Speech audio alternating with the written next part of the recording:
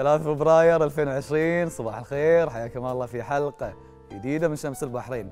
اليوم بنعرفكم على أبرز الفعاليات اللي راح تقدمها اللجنة الأولمبية البحرينية في اليوم الرياضي. وفي فقرة الديكور بتكون معانا الزميلة جمان الذوادي واليوم بتتكلم عن الفرق بين المصمم المعماري والمصمم الداخلي. راح نسلط الضوء أيضا في حلقة اليوم على مسابقة مشروعي اللي عودتها آه، علينا تمكين. بس في البداية خلينا نشوف الومضة.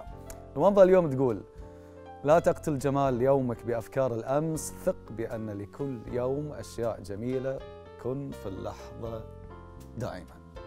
حلوة راح نبتدي اليوم مشاهدينا مع مهرجان مسرح وال المسرح الثالث عشر اللي افتتح تحت رعاية معالي الشيخة مي بنت محمد آل خليفة رئيسة هيئة البحرين الثقافة والآثار. المهرجان هالمرة مختلف عن السنوات اللي راحت بمناسبة احتفال مرور 50 عام من تأسيس المسرح ومن ضمن الفعاليات المهرجان كان تكريم مبدعين البحرين وراح يستمر إن شاء الله على مدار سبعة أيام.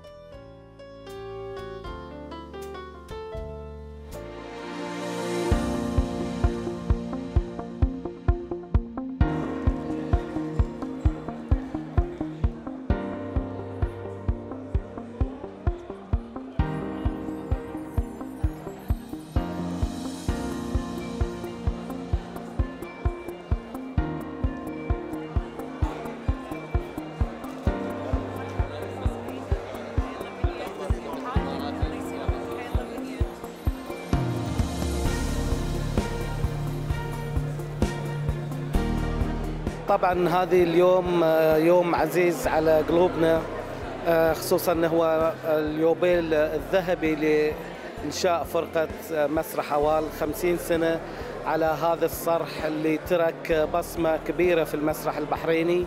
منذ البدء في السبعينات أسس قاعدة مسرحية جميلة تواصلت أيضا في الثمانينات بأعمال المبدعين والرواد. التسعينات أيضا طلع جيل جديد من مس في مسرح حوال آه، ابتدى بتجارب جديدة مختلفة خصوصا إنه كان مسرح حوال مهتم بالأعمال الشعبية فقط وكان ناجح فيها. إحنا اليوم آه، نحتفي بمسرح اوال في يوبيله الذهبي 50 عاما من الإنجاز ودورة مميزة في هذا المهرجان الثالث عشر لأنها دورة الفنان الراحل محمد عواد الذي يعتبر من مؤسسي الحركة المسرحية في مملكة البحرين وتحديدا أيضا مسرح اوال. سعداء بهذا التجمع وهذا الوجود. والحلو إن اليوم أيضا راح تكون عندنا جائزة باسم أخونا اللي غادرنا من فترة بسيطة جدا الفنان علي الغرير. آه، شاكرين لكل الداعمين اللي يدعمونا بجوائزهم سواء كان دعم مادي أو دعم معنوي أو إعلامي. آه، وجودكم هو سبب نجاح المهرجان ونتمنى هذه الاستمرارية. شكرا لكم. آه، مسرح حوال هو تجربة ثرية في تاريخ الحراك المسرحي في البحرين. ووجود مسرح حوال تهيألي كان له تأثير كبير على الساحة المسرحية وأثر الحركة المسرحية وشجع كثير من الفرق أن تكون أيضا آه، موجودة مع مسرح حوال آه، الآن هذا الاحتفال الجميل اللي تشوفينه أنت والعالم اللي هي هذا الجمهور اللي تربى على مسرح حوال وتربى مع مسرح حوال فنحن سعداء حقيقة هذه الليلة بكل هذا الحضور بكل هذا التاريخ الجميل الذي أسس مسرح أوال. بالنجوم الذين برزوا أيضا. ليس على في المسرح إنما في التلفزيون أو في الإذاعة. كلهم معظمهم هم أعضاء في مسرح أوال إحنا سعيدين خاصة بمرور طبعا 50 عام على تأسيس مسرح أوال ولو أن حزينين بفقدان طبعا أعزاء علينا. أمثال محمد عواد وأمثال أبو خالد عيل غرير. لكن بعد قدر الله ما شاء فعل. وإن شاء الله نستمتع بهذا المهرجان إن شاء الله. والله يعطيكم ألف عافية.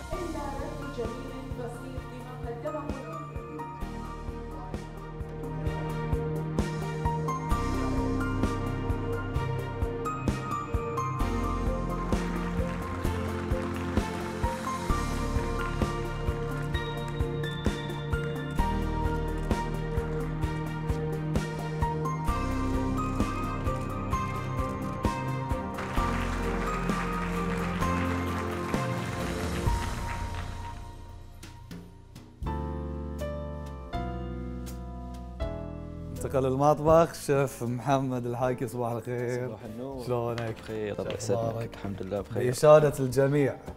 كان عاد أمس كان فظيع. في واحد خلص عليكم يعني. آه إيه. عليكم بالعافية. الله يعافيك. اليوم بعد seafood؟ اليوم بعد seafood. اليوم آه، الطبخه هي إسبانية okay. اللي هي اسمها ال paella. آه، طبعا ال paella هي يعني في ناس يسوونها مع دياي مع لحم. seafood. أنا اليوم حبيت أسويها مع الربيان ومع الخثاق ممتاز. آه، طبعا عندنا المقادير عندنا الثوم عندنا البصل الأبيض آه، عندنا ال- البقدونس عندنا الفلفل الرومي الأحمر عندنا صلصة الطماط آه، ملح سموكت بابريكا البابريكا المدخنة وعندنا الفلفل الأسود وعندنا الزعفران. طبعا في البداية الطبخة سريعة هي ويعني ما تحتاج نفس ما تشوف وايد مقادير صح. آه، ف... سهلة إي فنستخدم زيت الزيتون عشان نقلي اللي هو الثوم ثوم. مع البصل مع الفلفل الأحمر. وبعدها نروح نبهرهم وعندنا اللي هو العيش اللي هو الأربوريا رايس اللي يستخدمونه حق البقيه راح نضيفه بعدين ونضيف فوق المرقة مرقة الخضراء آه،. والمرقة تقدر تغيرها على يعني الناس يقدرون يغيرونها نفس ما يحبون يعني. okay. آه نستخدم مرقة الخضراء عشان نطبخ فيها العيش. وعقبها بنضيف اللي هو الربيان مع الخثاق حلو. طبعا أنا الخثاق آه، خمرته آه، قبلها يعني بليلة. استخدمت في في التخميره اللي هو البقدونس آه، الليمون آه، البابريكا. okay. آه، عشان شوي الخثاق لأنه ساعات ويا الطباخ يصير شوي يعني متماسك فما إيه، ينأكل بسهولة. okay يابس اي فالتخميرة شوي تساعد إنها هي يعني تلين؟ ال- الخثاق شنو خطوة اليوم؟ أول خطوة نسويها؟ طبعا بنضيف اللي هو زيت الزيتون. وفي الأطباق الأسبانية وايد يستخدمون زيت الزيتون ف واضح. لا, لا تخافون إيه.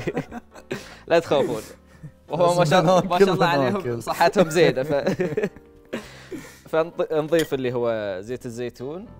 بعدها راح نضيف اللي هو الثوم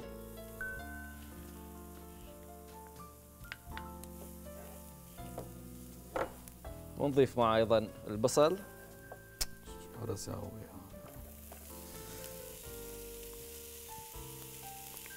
شيف هذا يختلف عن ال- ال- العيش مال ريزوتو ولا؟ آه، شوي يختلف. آه، اثنيناتهم تقريبا نفس نوع العيش مم. بس هذه يمتص النكهات أكثر يمتص الماء أكثر. okay.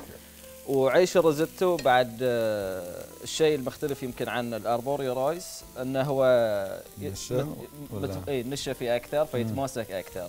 هذه شوي يعني يحتاج يعني آه، المرقة عشان اي بس آه بعد في ناس يمكن يستخدمون اللي هو عيش مال ريزوتو نفسه لأن. هاي العيش أحيانا يكون صعب إنك آه، تحصله يعني في السوبر ماركت يعني يمكن مو متوفر كثر آه، العيش مال الريزوتو فتقدر تستخدم بس هو في النهاية يستوي نفس يعني طريقة ال- إي نفس الشيء؟ إي نفس الشيء فممكن اللي ما حصل دي يستخدم إي اللي ما حصل دي يستخدم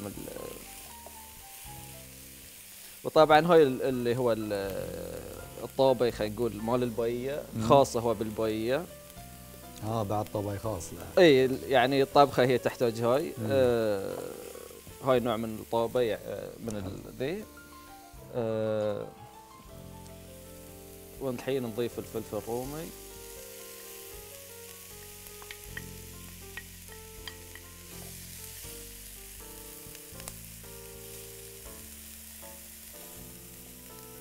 لو حبيت إن دخلت الزعفران في الموضوع هم ال- الزعفران طبعا من أحد يعني المقادير بعد الأساسية في ال- الطباخ الأسباني وايد يستخدمونه يستخدمون. زعفران؟ اي يعني هاي حتى هاي الزعفران آه، أسباني يعني مم. و وحتى ال- السموك بابريكا بعد أسبانية يختلف أو ريحته ولا تاثيره؟ آه ما يختلف. وايد مم.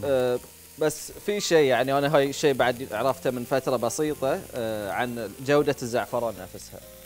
الزعفران إذا. تبي تعرف إنه إذا جودته زينة أو مو بزينة. آه تخليه في يعني هاي أنا خليته بس في ماي بارد. okay آه فإذا خليته في ماي بارد وشفت لونه صبغ direct يعني تعرف ان جودته زينة. آه الزعفران ساعات اللي تييك جودته أقل آه، تحتاج فيه تضيف له ماي حار عشان يطلع اللون اللي فيه والنكهة اللي إيه. فيه فإذا ماي بارد وصبغ معناته اي معناتها جودته زينة أنا ما سألتك إحنا في أول خطوة وين بنوصل إيش بنسوي؟ إحنا في البداية نفس ما قلت لك آه، نضيف هذه خلينا نقول البصل والثوم والفلفل الرومي راح نخليهم شوي يطبخون تطلع يطلع آه، تطلع النكهة اللي فيها.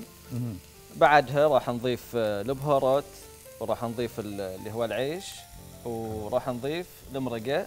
نخلي العيش يطبخ شوي. أوكي. وفي النهاية راح نضيف ال- اللي هو ال- الربيان ويا الخثاق. أنا يستوي بسرعة أي. شيء بنضيفه. فآخر شيء بنضيفهم الربيان ويا الخثاق. إن شاء الله. وهي- بنرجع لك. لا بس. نرجع لك إحنا قبل شوي نشوف آه، الخطوة الثانية. مشاهدينا جهود مميزة تقوم بها الأكاديمية الأولمبية البحرينية. من خلال برنامج الإدارة الرياضية المتقدمة في نسخته الثانية حيث يقدم دورات الإدارة الرياضية المتقدمة واللي تسمح حق المتطوعين والموظفين المشاركين في هالبرنامج بتوسيع مهاراتهم الإدارية المساهمه المستمرة في النشاط الرياضي. المزيد حول هالبرنامج في التقرير التالي.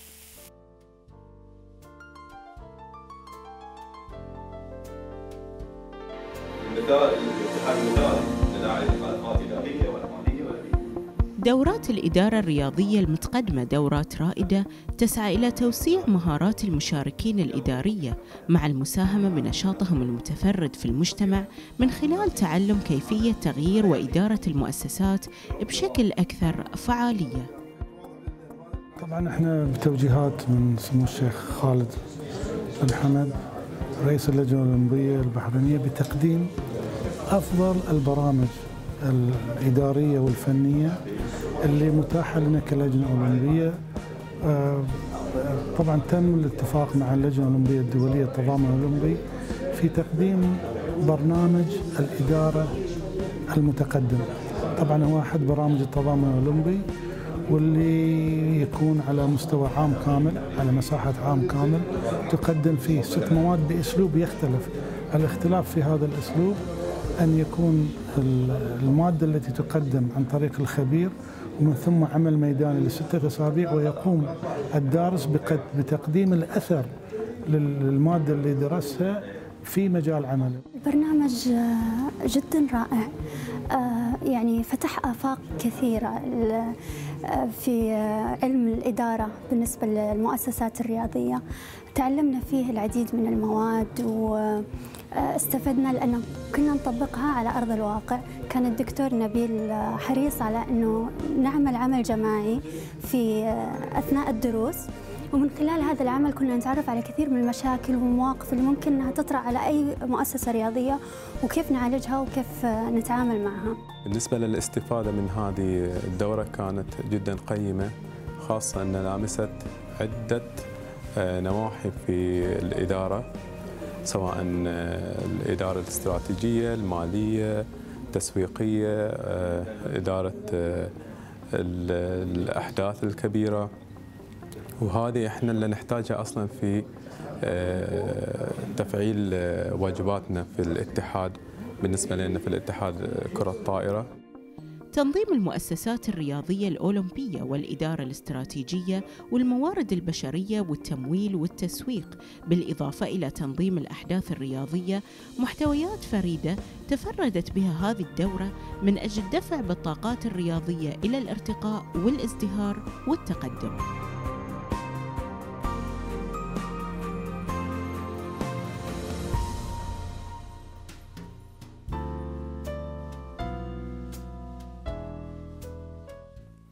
مشاهدينا تنظم مملكة البحرين سنويا يوم البحرين الرياضي الوطني بتاريخ 11 فبراير. تنفيذا لقرار أصحاب السمو والمعالي رؤساء اللجان الأولمبية بدول مجلس التعاون لدول الخليج العربي.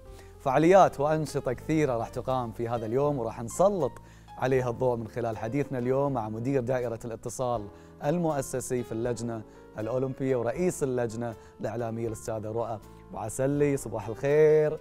حياك الله في شمس البحرين صباح النور أهلا وايد ناس تنطر. هذه اليوم خصوصا مهتمين بالرياضة نعم. حياك تفضلي الله يسلمك. في البداية راح نبتدي مع استعدادات هالسنه أكيد الفترة اللي راحت يعني يمكن ضغط عندكم خلينا نعم. نتكلم عن الاستعدادات شلون آه، أول شيء مشكورين على الاستضافة حياك. ما قصرتوا وهاي بالعكس نعتبرها واحدة من الوجهات الإعلانية اللي بتزيد الإعلان عن اليوم الرياضي. نفسه تسلم ما تقصر آه، قبل لا أقول عن استعداداتنا بس بغيت أأكد لأن في وايد آه، اختلافات عن تاريخ اليوم الرياضي. هو أكيد بيكون يوم الثلاثاء تاريخ 11 فبراير. آه بيكون آه في الاستاد الوطني. وإحنا فتحنا ال- هالمرة البرنامج من الساعة 10 صباحا للساعة 8 بالليل. غير عن كل سنة لأن كل سنة كان بس ال- العصر الفترة صح. فترة فترة الظهر.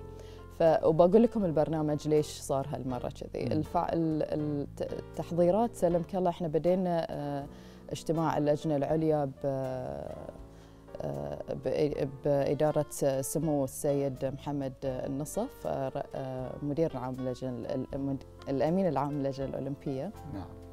آه، وفي هالإجتماع آه، نادينا القطاعات الحكومية والخاصة تفضلوا عندنا كل واحد ما شاء الله مجهز برنامج آه، كامل حلو. آه، من من ناحية الفعالية. آه، يعني نقدر نضمن أن نص اليوم اللي بيكون المفروض إجازة بيكون كل من يعني متوجه الوجهة الصحيحة من أن يس- يمارسون الرياضة في ذي اليوم. من ناحيتنا إحنا إحنا بنكون في الاستاد الوطني. كلجنة أولمبية وإحنا ال- ال- الجهة المعنية لتنظيم هذا اليوم. آه، الفترة الصباحية سلمك الله بنخصصها حق آه، بنسوي نوع المسابقة آه، للجهات الحكومية والخاصة وفي الفترة العصرية طبعا بتكون حق ال- الجمهور مم. أول ما هم يخلصون طبعا أشغالهم يتفضلون عندنا. أكيد يمكن عامل الجذب اليوم مهم لكسب أكبر عدد من المشاركين والمتواجدين خلينا نتكلم أكثر عن الفعاليات اللي راح تكون موجودة الناس إيش راح تشوف أي نعم. في في هذه اليوم آه، هو سلمك الله ال- ذي اليوم اللي متعودين عليه الناس ان نجيب إحنا كل الاتحادات آه، البحرينية على أساس إن كل اتحاد يتفضل ويراوينا ال- الرياضة اللي موجودة في البحرين. صح. آه، بعضهم يخلون الناس تتفاعل معاهم، بعضهم يكونون بس كشو نفس ما تقول. آه، بس هالسنة يانا توجيه من سمو الشيخ خالد آه، الله يحفظه إنه لازم نعزز في هذه التنظيم. فالتنظيم بيكون زيادة عليه بتكون في وايد مسابقات فيها تفاعل مع الجمهور. وفي مسابقة آه اللي هذه قلت لك عنها من الساعة 10 اللي بنقدمها سميناها تحدي الحواجز. آه هذه الترم العربي بس هي بالإنجليزي. ما نقدر نترجمه هو. The Monster inflatable obstacle okay. هذه سلمك الله مسابقة يبناها من آه، من بريطانيا. آه، هي عبارة عن آه، نوع ال obstacle الحواجز المنفوخة. طولها 300 متر. وفيها تقريبا أكثر من 40 حاجز حق أي أحد ممكن أنه يتخطاها. okay. آه، أرفع حاجز بيكون 18 متر تقريبا وأي اثليت أو إن رياضي بيكون داخل هذه المسابقة بيقدر يحرق أكثر من 160 سعره حرارية. آه، فهذه ال- ال- ال- البرنامج خليناه بالفترة الصباحية مسابقة حق الشركات. طبعا كل شركة بتفضل عندنا أو هيئة حكومية أو اتحاد. بيقدمون أو ب- بيخلون أربعة من آه، فريقهم على أساس أنه يمثل الشركة. أوكي. وبتصير مسابقة. مسابقة. إي وهذه المسابقة خليناها من 10 الصباح ل 2 الظهر وطبعا أول وثاني وثالث فائز الأسرع طبعا إذا هم يقدرون هو هي إذا وصلوا لاخر إذا. يوصلون. هي الفترة ياخذ لها من 15 ل 20 دقيقة على أساس تكمل المسابقة. If they can انه يخلصون. يخلصون أكثر من 15 دقيقة آه، بيكون شيء وايد زين. وطبعا بيكون تكريمهم على آخر ال- اليوم إن شاء الله إن شاء الله. الله. أكيد آه، يعني قرار تنظيم هذا اليوم له رؤيه سواء رؤيه أكيد. حالية ولا نعم، مستقبلية. خلينا نعم. نتكلم تأثير هذا اليوم آه، مستقبلا على على المواطنين على المشاركين. هو سلامك الله تأثير ذي اليوم إحنا نشوفه الحين. يعني اهتمام الناس آه، سواء كان آه، ناس في أعمار آه، متقدمة ناس في آه، يعني أصغر من هاي يعني من الأعمار كل من متوجه أن الرياضة شيء مهم. نعم. هذه سلمك الله يعني من توجيه سمو الشيخ ناصر حفظه الرحمن ال- لازم تكون الرياضة أسلوب حياة. مم. آه، التوجيه هي على أساس أن الرياضة ما ما نسويها بس في يوم. يعني إحنا إيه الفعالية بتكون في يوم بس هو هذا اليوم تذكير أن ترى في وايد أنواع من الرياضات. آه، ممكن أن أي واحد يمارسها هي مشي هي سلة هي هي نفس ما تقول ال- آه، الجيم السيكل أي شيء. إيه. اي بالضبط. آه، فهذه اليوم مجرد تعزيز على أساس إن الرياضة تكون أسلوب حياة لكل من. يمكن نفس ما ذكرتي إن غرس ثقافة الرياضة كأسلوب حياة أي نعم. آه، هي من أهم آه، أهدافكم. خلينا نتكلم نعم. عن المشاركة اليوم. شلون الشركات الأفراد إنه يشاركون معاكم في في هذا اليوم؟ okay. هو سلمك الله ال- ال- ال- في website لل- لليوم الرياضي مهم. اللي هو يعني كان موجود من أول ما بدينا الفعالية في سنة 2017 آه هذه ال website يقدرون كل الشركات آه سواء خاصة أو حكومية أو كاتحاد انه يخلون البرامج اللي هم بيسوونها في في آه هيئتهم. آه، فإحنا اللي من صوبنا ناخذ هذه البرامج ونعلنها على آه، الجمهور نفس ما تفضل. وبعد عندنا آه، التواصل الاجتماعي عندنا آه، ونحط البرامج دي نفسها عندنا على أساس إن كل من يشوف أي هيئة شنو بتسوي وإذا هو حاب إنه يشاركهم أو يتفضل عندنا في الاستاد الوطني. أهم شيء إن البحرين كلها تكون. آه، في يعني كلنا نتريض في ذا اليوم نفس ما يقولون. إن شاء الله يمكن أستاذ. أيضا القريه الر- الرئيسية هي من أو المحطات المهمه في اليوم الرياضي نعم. خلينا نتكلم أكثر عنها راح يكون فيها أيضا أمور آه، ترفيهية حق إي نعم الأطفال آه القرية الرياضية نفس ما قلت من ساعة إن هي بتكون نفسها بس بنعززها أكثر آه بيكون هناك الماراثون ال- اللي هو كالر رن اللي كل من آه، يبيه وفي نفس الوقت يبنى سلمك الله نوع آه، الأرضية المخصصة حق volleyball بس لأنه يبنى الهاي الحواجز قلنا. ليش ما نسوي نفس الشيء؟ فالناس يعني بدل ما تلعب على الأرض بتكون إن رايحة فوق وتحت نفس ما تقول. آه هذه بتصير مسابقة بين الجمهور يعني بندخل كل أربعة أو خمسة من الجمهور إنه يتسابقون. وهذه بتكون بإدارة طبعا اللجنة الأولمبية مع مساعدة اتحاد آه، كرة الطائرة. مم، يعني يمكن في بعد شيء؟ في أشياء وايد بس أنا أبي أخلي الناس تجي عشان تشوف أكثر. آه هو طبعا بتكون هناك آه مكان خاص للأطفال. بعد بألعاب مميزة رياضية. وطبعا بتكون آه، في جهة لل- لل- للمأكولات ويعني نحاول إن. نخليها هيلثي. نحاول قد ما نقدر آه، بس إن شاء الله إن شاء الله كل ما بيكون مستأنس في ذي اليوم بإذن إن شاء الله يا رب يعني ما تنجح فعالية إذا ما كان في هناك ناس آه، رعاة ناس آه، يساندونكم خلينا. نتكلم عن هذه الأشخاص أكيد. اللي راح تساهم في نجاح هذا اليوم الرياضي هو طبعا السند الأول سمو الشيخ ناصر برؤيته اللي بدأ فيها لهذا اليوم الرياضي و سمو الشيخ خالد بدعمه واهتمامه في هذا اليوم كونه نعم. رئيس اللجنة الأولمبية.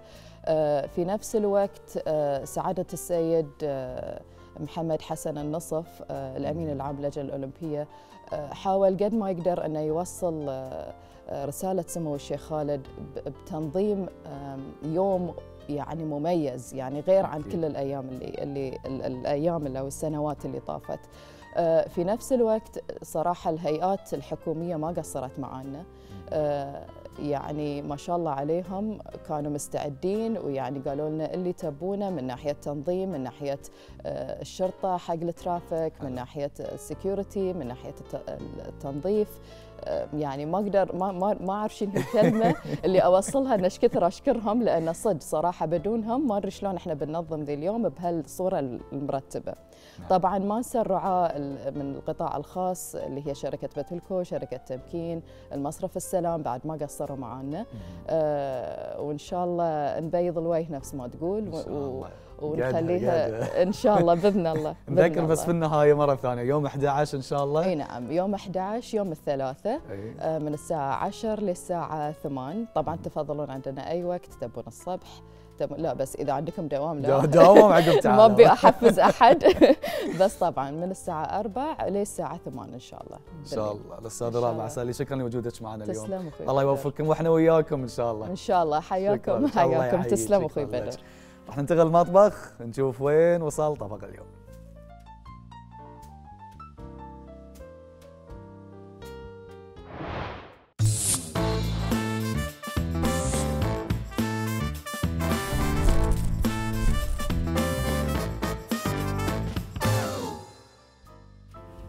إحنا بعد طبقنا healthy اليوم. ولا إيش رأيك شيف؟ اي لا وايد healthy أوه إيش صار يعني؟ كل شيء نحاط ها؟ كل شيء نحط حاطين العيش حاطين المرقة مهم. وحاطين ب- حطيت الخثوق بعد حلو وقاعدين يطبخون الحين إحنا أول شيء حطينا الثوم بعدين البصل حمرناه شوي على إيه. زيت زيتون وبعدين وبعدين الفلفل الرومي. عقبها حطينا اللي هو صلصة الطماط وبهرناهم بالملح والفلفل الأسود هذا سموك بابريكا للحين ما أوه. للحين ما حطيناه فيه الحين بحط ال- اللي هو الزعفران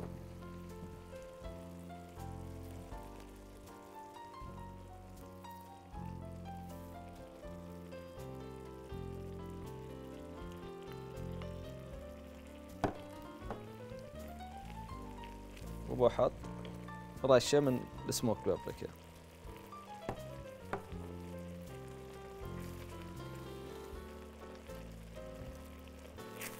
انت الطبخات اللي تسويها لنا مسويها من قبل ولا؟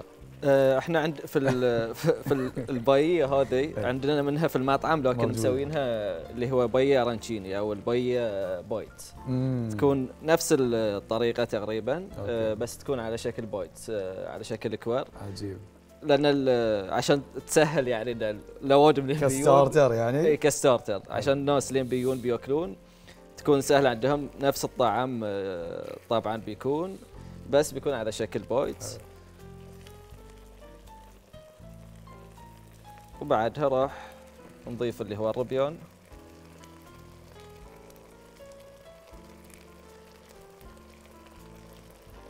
كم ربيانه قال يعبي عليه عليه ح- حجزهم كلهم. ست- 16 واحدة عدهم، ها؟ اي اي أنا بحاسبهم.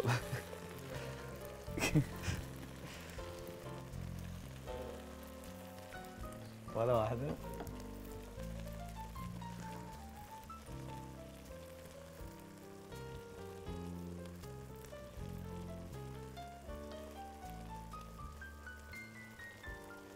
الربيان بسرعة يستوي صح؟ اي الربيان يستوي أسرع من آه، باقي الأشياء. فبعد ما نضيف الربيان بنخليه على نار هادية. أو بنغطيه ولا بنخليه كذي بس آه، على نار هادية؟ آه، ممكن يتغطى. آه، وممكن نخليه على نار هادية يعني بس من يطبخ الربيان يبرز الطبق بعدها بنضيف اللي هو ال- البقدونس وبنستخدم الليمون للتزيين وعقب حازة الأكل نعصر الليمون. وناكل ممتاز إحنا بنرجع لك بعدين عشان نشوف الشكل النهائي حق طبق اليوم واضح بد- بدا يتشكل آه، تتشكل ملامح صح علي؟ تكوي إحنا بنطلع فاصل مشاهدينا راجعين مع الزميلة جمانة ذوادي فقرة ديكور الاسبوعيه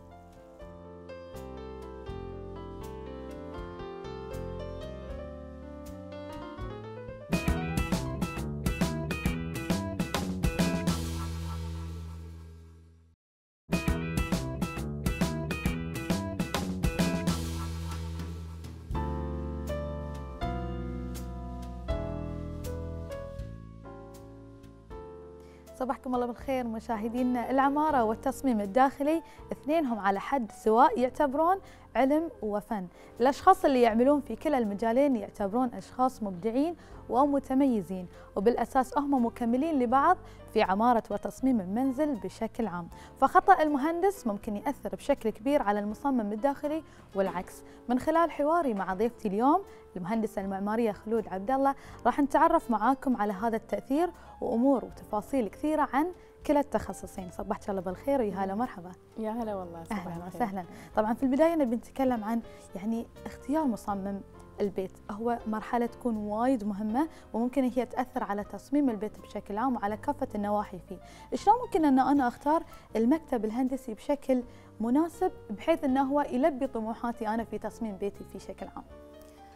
طبعا في البداية الواحد أول ما يبدأ يقول أنا بدش في مشروع آه، بيت العمر أو أيا كان نوع المشروع نعم. تجاري أو سكني الأفضل أنه يتوجه إلى المكاتب ال- اللي سمعتها جيدة طبعا. هاي رقم واحد اللي عندها آه، تسجيل آه، مع لجنة مزاولة مهن الهندسية على أساس تكون هي طافت اج- اج- اجتازت ال- المواصفات والمعايير اللي تأهلها أنها تقوم بالمهنة نفسها صحيح آه، غير هذا السمعة الجيدة أن من خلال المشاريع الموجودة في السوق ممكن أنهم يزورون المواقع ويشوفون أداء المهندس من خلال هاي المشاريع. آه، هل تلبي طموحهم من ناحية أفكار المهندس؟ هل نفس التوجه اللي هم حابين يسوون فيه المشروع؟ لأن كل مهندس إلى لون معين إلى توجه خاص. يمكن يمكن المهندس يعني يكون حاب يكون آه، يطلع بصورة مميزة عن باقي المهندسين. صحيح. لما يكون آه، توجهه اجتماعي مثلا يكون المباني تقليدية أكثر هو توجهه ولونه يحب الطراز التقليدي. فإذا كان الشخص عنده نفس التوجه ممكن إنه يتوجه إلى نفس المهندس فتكون الأفكار متقاربة أكثر يعني. حلو. يعني خلود يعني هل المهندس المعماري هو اللي متكلف بكل شيء من ناحية التصميم؟ أو إنه ممكن يعني هو له أمور معينة يقوم فيها والبعض الآخر يقوم فيها أشخاص معنيين آه، يعني آخرين؟ نبي نتكلم عن دور المصمم آه، أو المهندس المعماري بشكل خاص وتحديدا حق الناس اللي ممكن يكون في خلط آه، عندهم في دوره. بالضبط. دور المهندس المعماري هو الماستر بالنسبة حق أي مشروع. راح يبدأ من أول نقطة عنده. والأفضل إنه تنتهي المشروع بعد عنده. البداية والنهاية البداية والنهاية عند المعماري هو اللي يكون يعني قائد المشروع. تمام. طبعا ما راح يكون هو الشخص الوحيد في المشروع ولكن يعني جميع التخصصات بتلجأ له في الأخير إن تتأكد إن هذا القسم اللي بيشتغل فيه مهندس آخر سواء كان مهندس كهربائي أو آه، صرف صحي أو مدني في الأخير لازم يرجع للمهندس المدني المعماري عشان نتأكد أن هاي الأشياء ما أثرت على الفكرة العامة للمشروع تمام ففي الأخير هو يربط ما بينهم ويسوي الكوردينيتر هاي اللي موجود بينهم على أساس يعطي المنتج اللي هو المشروع إلى نهاية أنه تحقق كل شيء على أرض الواقع وكل شيء سليم يعني بيكون فيعني في النهاية هو دوره يكون يعني مكمل للأدوار. الأشخاص اللي بيكونوا بيقومون بالأمور الأخرى التفاصيل الكثيره اللي ممكن تكون في تصميم البيت في الأخير كلهم راح يرجعون حق المهندس المعماري على أساس إنه يكون البيت مناسب ومميز ومرتب بشكل هو حلقة الوصل ما بين جميع الأطراف مع العميل نفسه. حلو. تمام. أوكي. يعني بما إنك أنت مهندسة معمارية متخصصة في التصميم الداخلي يعني شنو اللي يفرق ما بين دور المهندس وبين دور المصمم الداخلي؟ ونبي بما ان إحنا تكلمنا عن دور المهندس المعماري نبي نعرف شنو إضافة آه، مصمم الديكور حق تصميم البيت أيضا؟ آه، طبعا سابقا في قبل 15 سنة في البحرين ما كان موجود التخصص التصميم الداخلي. نعم. أو في سابقا في القديم يعني كان في شيء اسمه المعماري فقط. هو اللي كان معني عن جميع مستويات المشروع من الداخل ومن الخارج. تمام. فهذا مستحدث يعني التخصص. المصمم الداخلي. المصمم الداخلي. هذا يعني مستحدث حاليا. يعني يعني المعماري يقدر يسوي كل هالأمور الداخلية سابقا. فكان هو يعني مسؤول عن الداخل والخارج. ولكن الحين دخل التخصص الداخلي إنه يروح تخ يعني أكثر يركز في التفاصيل الداخلية. المعماري هو الشكل العام للمبنى من الداخل ومن الخارج وطريقة تقسيم الفراغات.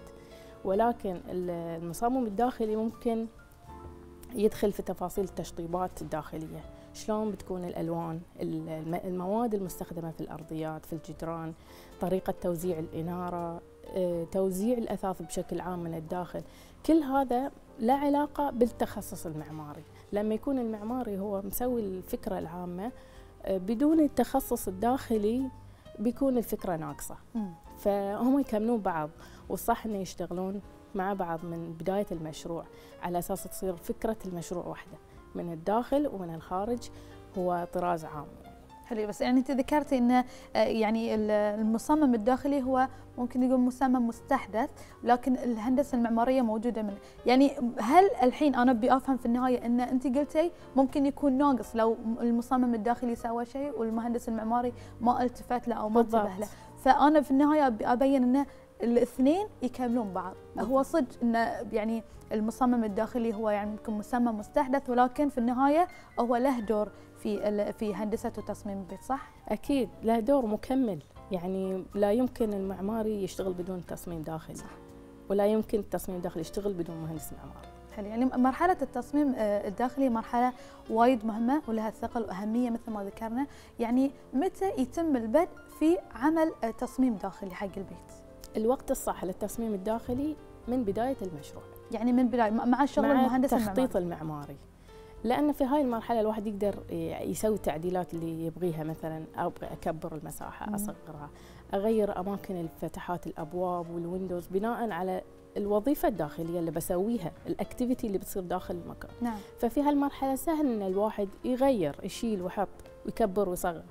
فلا تتقدم المراحل بعدين ويصير صعب التغيير. يصير في صعوبة. فيصير ال- الاستثمار الجيد في هاي المرحلة.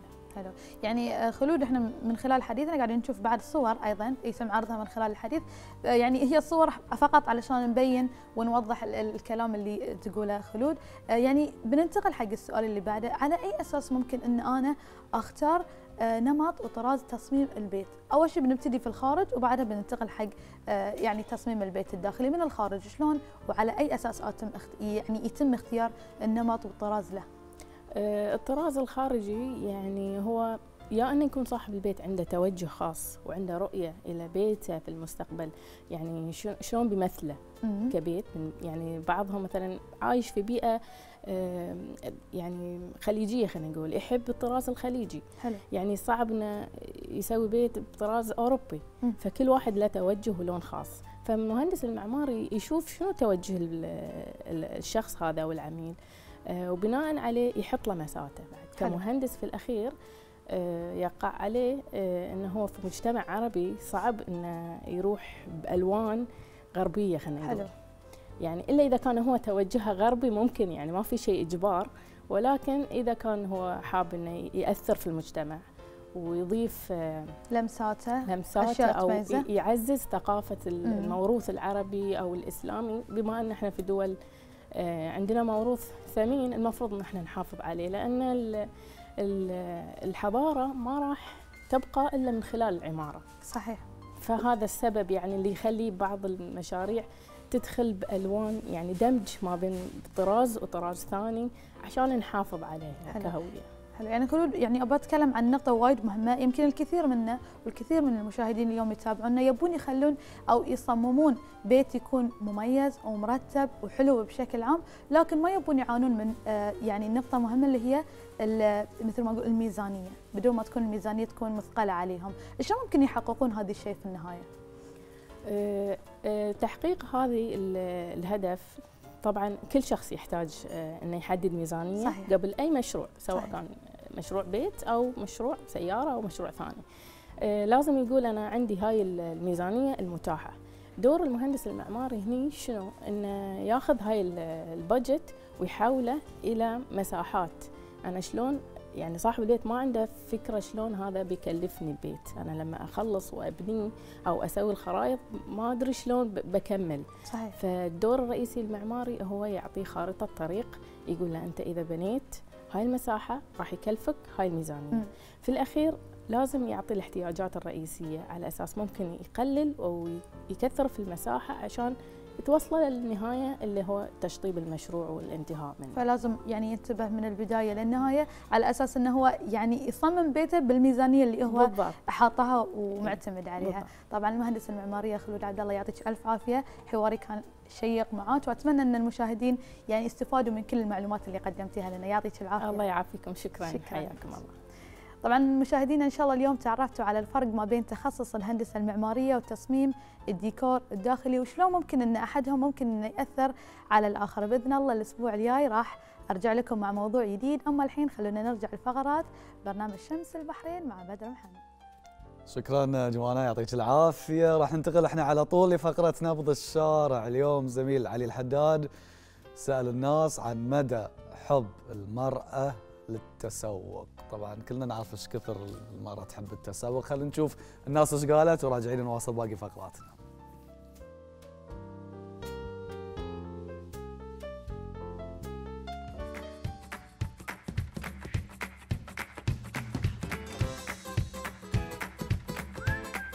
مرحبا. بعض البنات يقولون إنهم لما يتسوقون يرتاحون نفسيا. خلينا نشوف هالمقولة من داخل هالمعرض هل هذه المقوله صحيحة؟ إي أو لا. بس راح ناخذ رأي الرجال ورأي النساء مع بعض. حياكم. هاي شيء أكيد. أكون مبين عليهم ما شاء الله. إي والله. هذه تشوفها ما شاء الله. آه، ريدها تعورها. فأنا بنغير نفسياتي يا ابن هاني. صدق لما تسوقين ترتاحون نفسيا؟ إي أكيد. السبب؟ شعور غير يعني. شعور غريب حلو. ما يهم ما يهمكم من اللي يدفع؟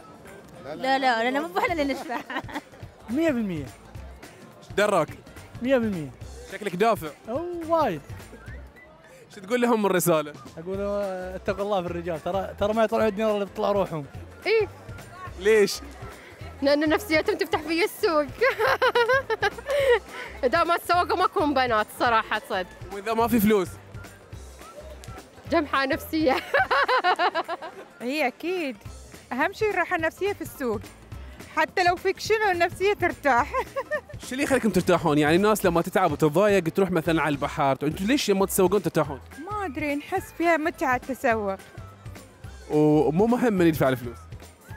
لا يعطيك العافية. يعافيك رجعي ليش؟ كذي من الله يعني هاي فطره في كل بنية زين ما يهمكم إن مثلا الزوج يتعب يجيب فلوس؟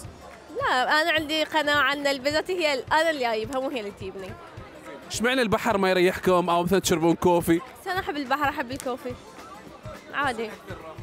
هذا بدون شك كل النساء 90% يحبين يصرفين. حتى تعمر ان ت- تصرف على زوجها يعني بالأعمال يعني.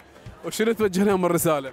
الله يحفظكم وبطلوا هذه العادات والتقاليد. إن كل واحد على حسب الميزانية حقه. راعي زوجك راعي اخيش أخوك راعي عمك خالك. ها شوي شوي. العافية. الله يعافيك حبيبي. أكيد. شنو السبب؟ شنو السر يعني؟ ما أدري والله ما في سر. يعني أي واحد يعني يشتري الشيء اللي يحبه أكيد يستانس. أنت ما تستانس. أنا أستانس إيه بس أنتم أكثر يقولون. راحة نفسية. تشتري شيء انت خاطرك فيه أكيد راحة نفسية. أكيد النساء النساء مو اللي يشترون ويحبون يتسوقون. رجال لا. زين النساء لما يشترون تحسين نفسيتهم تعبانة وهم يشترون بعدين يرتاحون ولا شلون؟ أكيد يرتاحون. ال shopping معروف المرأة ترتاح. إذا حتى إذا هي نفسيتها يعني مو okay لازم تتسوق. وإذا إذا الزوج آه، شاف زوجته يعني آه، فيها كآبة ومو أوكي يعطيها فلوس وخلاص. تروح تسوي لها تسوق. يعطيك العافية. الله يعافيك حياك.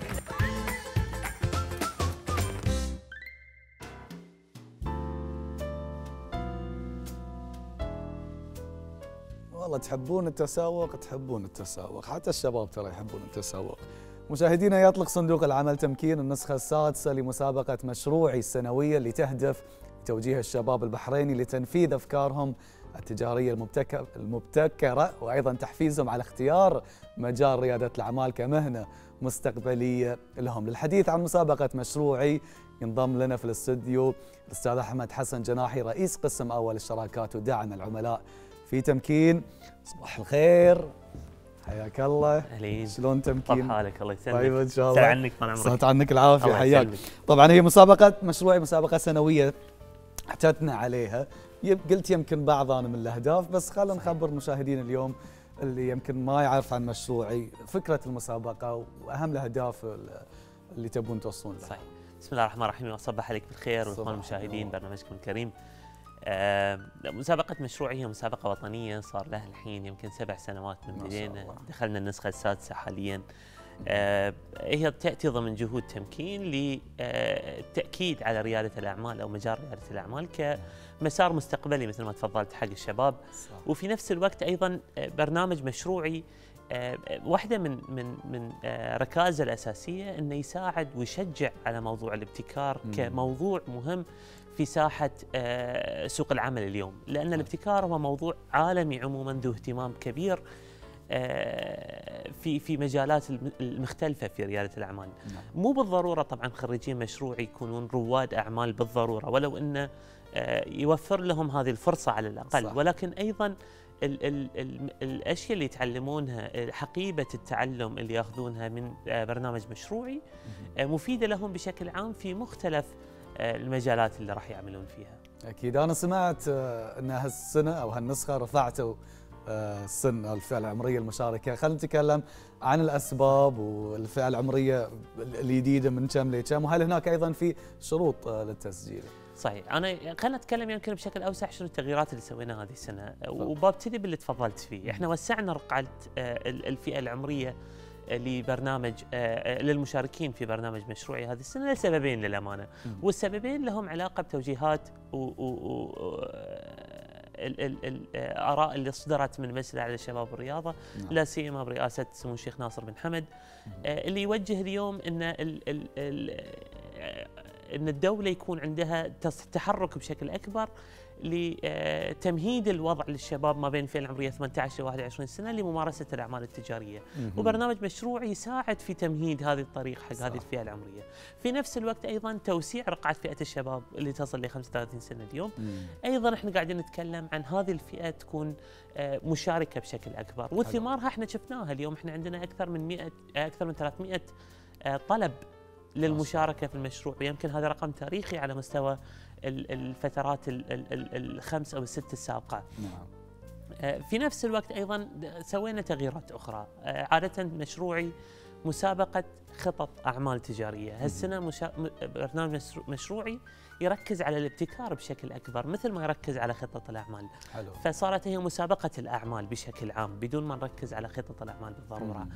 آه، أيضا من التغييرات اللي قاعدين نسويها هذه السنة طبيعة البرامج التدريبية التحضيرية للشباب.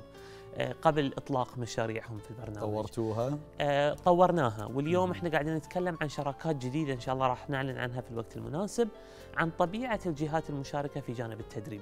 الهدف من هذه التغييرات مرة ثانية تحسين البرنامج بناء على آراء الجمهور اللي قاعدين نستلمها سنة على سنة. آه، وإحنا طبعا شاكرين جدا حق الجهات الإعلامية لا سيما وزارة الإعلام آه، وهيئة شؤون الإعلام على مشاركتهم لنا ودعمهم حق هذا المشروع لأن خروجنا للجمهور هو اللي يمهد حق مشاركة الناس مشاركتهم آرائهم مشاركتهم في البرنامج طبعا التسجيل يتم وأنا أرد اكد الشباب اللي عندهم أفكار اليوم.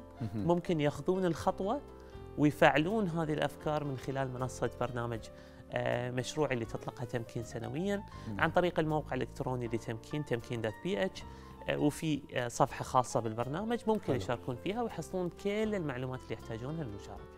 لو نتكلم شوي عن النسخ السابقة المشاركين تحديدا. هل حسيتوا أن المشاركين كانوا يعرفون المقصود بريادة الأعمال أو في ناس حبت مثلا تشارك عشان تخوض التجربة وتتعلم؟ وفي حال اليوم مثلا أصحاب أفكار معينة ما عندهم الدراية بريادة الأعمال. هل في برامج معينة تقدمونها لهم عشان أكيد. يفهمون الموضوع أكثر؟ أكيد. إحنا طبعا خلينا نتكلم عن طبيعة المشاركين وبعدين بتكلم إن شاء الله عن شو اللي نسويه على أساس نمهد للمشاركة. آه المشاركين آه خليط. في ناس يجون لأن أحد قال لهم شاركوا في مشروعي وهم طلبه جامعيين مثلا وقالوا خلينا نشارك. وإحنا في فترة من الفترات كانت الفئة العمرية أصغر كانت طلبة الثانوي بعد يقدرون يشاركون. فدائما كان في هذا المحفز إن في ناس يشاركون لأن أحد قال لهم شاركوا. في نوع آخر من المشاركين اللي لا اللي فيه اهتمام عندهم ب آه، برنامج آه، أو بموضوع ريادة الأعمال، موضوع ريادة الأعمال جذاب. واليوم حديث الشارع اليوم. أتصور بغض النظر اللي يشتغل شغلة حكومية أو شغلة في القطاع الخاص أو حتى طالب أو باحث عن عمل اليوم صار عنده اهتمام بموضوع ريادة الأعمال. وطبعا إحنا بعد أطلقنا هذا المشروع ضمن جهودنا بعد على أساس نسلط الضوء على هذا الموضوع بشكل خاص. ففي ناس عندهم اهتمام وفي عندنا شريحة ثالثة ناس عندهم بدوا مشاريع أو أفكار معينة. أو حتى عندنا شباب كان عندهم مشاريع سابقة. حين نجحت أو فشلت بغض النظر. حابين يدخلون آه، أو يخوضون تجربة جديدة فيعتبرون تمكي... آه، آه، مشروعي منصة للمشاركة، طبعا إحنا شو نسوي؟ على أساس بعد نسلط الضوء على أهداف البرنامج، طبيعة البرنامج للجمهور قبل انطلاق البرنامج، إحنا عندنا نوع الرود شو أو ال- ال- ال- حملة متكاملة آه، نستهدف فيها طلبة الجامعات، نحاول نسوي فعاليات توعوية. على أساس الناس يشاركون، أنا للأمانة قبل شوي كنت أطالع ال- ال- اللي بثيتوه قبل شوي التقرير البسيط اللي بثيتوه قبل شوي نعم، عن نبض التسوق. وأنا أتصور طبعا الكل مهتم ريايين مهتمين بالتسوق. بس بعد مشروعي واحدة من الأشياء اللي تضيفها إن تمهد إن هذا السوق يكون فيه خليط أكبر، التسوق مو بالضرورة تسوق ثياب، في. وايد أنواع تسوق، اليوم التسوق الإلكتروني كم واحد فينا اليوم يطلب آه، أدوات إلكترونية من خلال امازون ولا اي باي. وغيره، عندنا خريجين من مشروعي سووا منصات موازية. آه، عندنا خريجين من مشروعي سووا مجوهرات عندنا خريجين من مشروعي سووا برامج تعليمية إلكترونية. فالحمد لله المخرجات مشروعي شيء نفتخر فيه. وممكن نتكلم حتى عن قصص النجاح. الحمد لله. أنا للأسف عندي أربع دقائق بحاول آدمج أسئلة علشان يعني نغطي كل الجوانب. خلينا نتكلم أخوي أحمد عن المعايير وعن ال- الفائزين إيش راح يستفيدون وايش راح يحصلون من هذه التجربة؟ طبعا معايير المشاركة مثل ما قلنا هي الفئة العمرية من الشباب ما بين 18 ل 35 سنه آه، اللي عندهم أفكار. إحنا قاعدين نقول مشروعي هي الخطوة الأولى اللي ممكن يضعونها في تحويل هذه الأفكار إلى حقيقة. فإحنا شرطين بحريني في الفئة العمرية من 18 ل 35 سنة. هاي الجانب الأول. الجانب الآخر آه، إنه يكون عنده فكرة. لو فكرة بسيطة لمشروع تجاري. صح. مشروعي في نهاية اليوم هي المنصة اللي بتساعده إنه يطور هذا المشروع. طبعا عندنا مجموعة موجهين ناس خبراء. في سوق العمل ناس خبراء في مو- موضوع ريادة الأعمال يساعدونهم يأخذون الخطوة الأخرى على أساس يتطورون. آه، مشروع يقدم عدد من الجوائز القيمة اللي بعد ما راح أتكلم عن تفصيلها الحين لكن من ضمن ال- ال- الجوائز الرئيسية الموجودة هي فترة احتضان. الفائزين في. المشروع يحصلون فترة احتضان تجاري طبعا.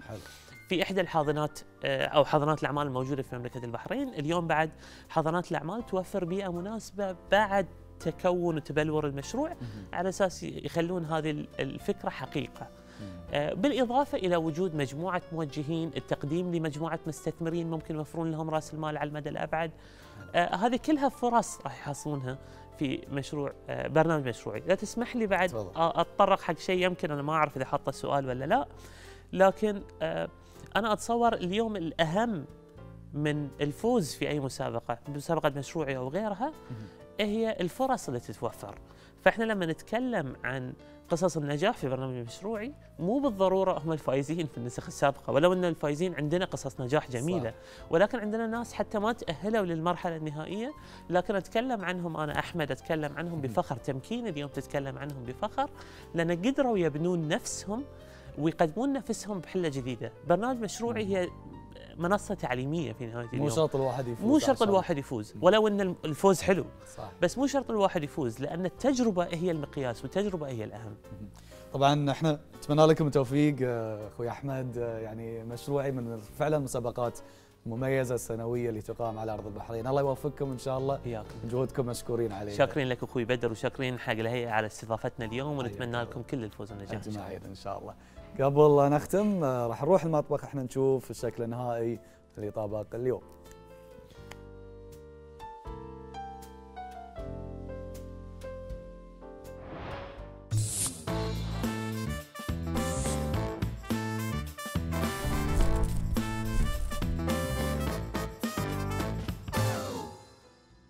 تصورين ولا ناكل أول؟ ها تبي تصورين ولا تاكلين؟ أول شيء تصورين أول شيء تبي تصور الطبخه يا سلام شوف برزت. برزت ها؟ الحين كل شيء برز العيش برز والربيان طبخ والخثوق كل شيء بس بنضيف له الليمون للتزيين يا ركيض. بس أحلى شيء إنه هو ينأكل من الطبق نفسه ذي اي بدون لا ننشب ما ما كيفك يعني.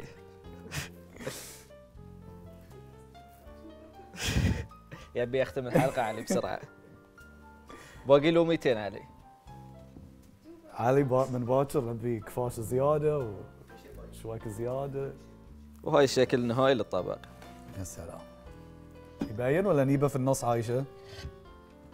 النص خليه فوق ذي ولا عادي؟ ما أدري. كذي يا سلام.